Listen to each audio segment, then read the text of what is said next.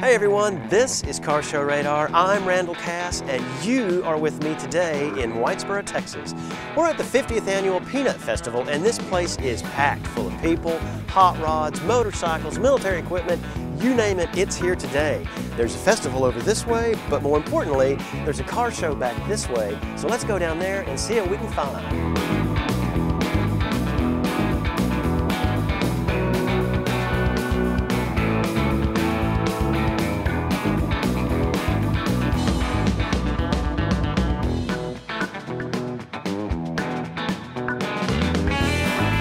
Man, I gotta tell you, at the Car Show Radar, we love a well-done 50 Merc lead sled, and a lot of it has to do with the fact that it looks like the Car Show Radar website logo.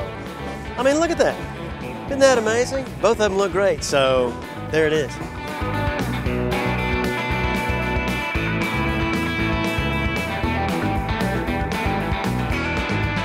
All right, we've got a really interesting story here today on this 1938 Chevrolet Master Deluxe Coupe.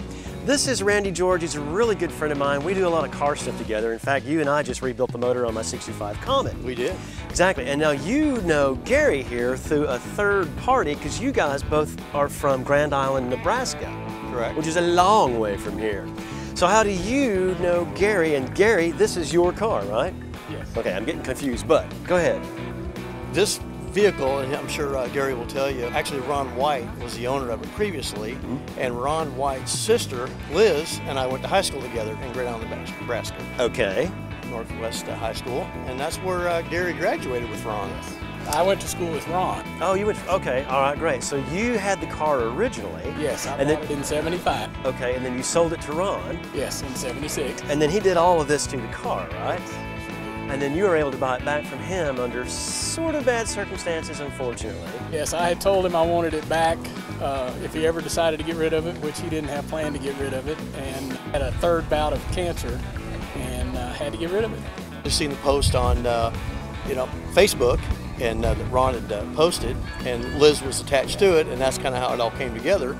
Wow. And, uh, so he said, going to have a small town in Texas at a peanut festival, and I was like, oh, we're going to that show, right? Yeah, we're going, yeah. Perfect. What a great story. The hot rod stays in the family, and it's here today for us all to see.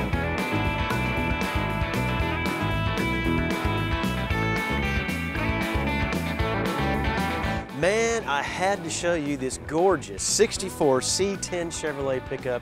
It looks brand new. And I happen to know that this is a one family owner truck.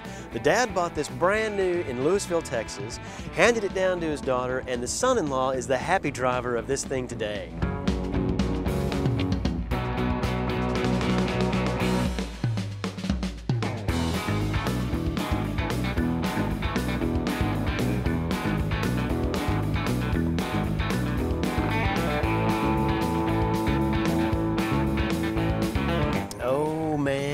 This is nice. This is a 1960 Ford Thunderbird. It's very iconic.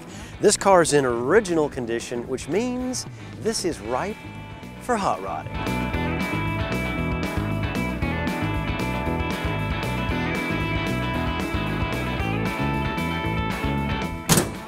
Well, that's it today for us here in Whitesboro at the 50th Annual Peanut Festival. It's been a great day, seen a lot of cool cars, met some very interesting people, but it's time for us to get down the road to the next car show. So, see us next time on Car Show Radar or go to the website carshowradar.com, give me your email address, and I'll send you car show listings once a week. Thanks so much.